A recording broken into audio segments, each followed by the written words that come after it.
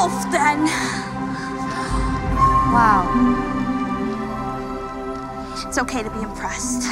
Our language. Ow, Addison. That means welcome.